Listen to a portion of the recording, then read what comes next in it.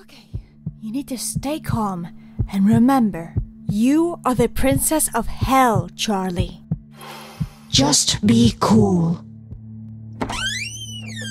Hey, um, Vaggie, was it?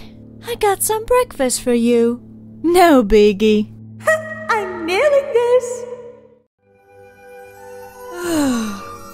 Oh. Thank you, princess. No, I can't be. Uh, princess? She's too hot! How did she even wake up? You like that? okay? Several months later. Look at you! Your hair's getting long! Does it look weird? No way! It's super cute! if you say so. you have no idea, do you? Uh, is there something on my face? She's so freaking cute! Uh, Charlie? Seriously, is there something wrong with me?